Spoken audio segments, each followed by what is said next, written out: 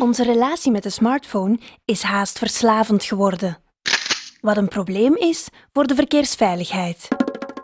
De extreme afleiding waarvoor het toestel zorgt is bijzonder gevaarlijk.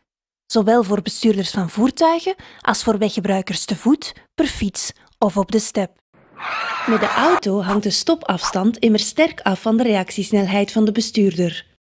Zo zorg je enkele seconden onoplettendheid voor een afstand van tientallen meters die blind wordt afgelegd. In normale omstandigheden ondergaat een bestuurder al vele opeenvolgende vormen van afleiding. Visueel, door geluiden, cognitief, fysiek.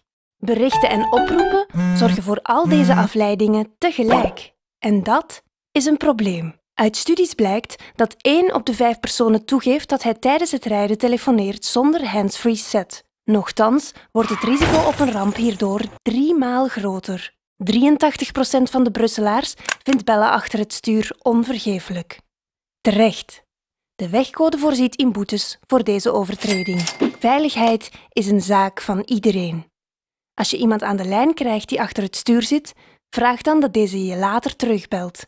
En zorg als passagier dat de bestuurder zijn telefoon niet opneemt tijdens het rijden.